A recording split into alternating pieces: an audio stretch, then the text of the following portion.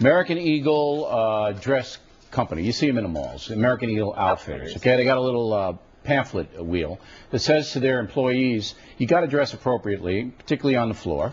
Um, you got to dress neat. You can't dress if you're a man. You can't dress like a woman, and vice versa. You can't scare the customers. You can't. if your name is Fred, you can't look like Dolly Parton.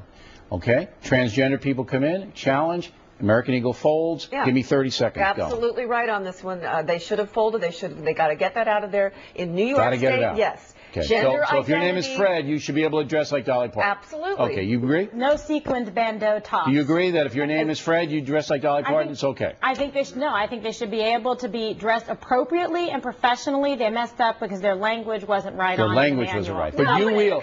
you if you owned a, co- a clothing corporation, you say you can dress like an Ewok if Yes. you want. An you Ewok can walk has nothing in. to do with you gender can, identity, which is what Gender the law identity. says. Well, Gender Ewoks have identity. genders, you cannot, too. You cannot discriminate based on gender. And Okay. This is So if you're a man, you can dress like a woman. Exactly. If you're a woman, you can dress like a man. That's all right. All. I want is a shirt. That's all I want. Right. So I'm just- very confused. At a good price. All I want is a shirt. how- how I gotta go, mean as a Will. Babbling. woman?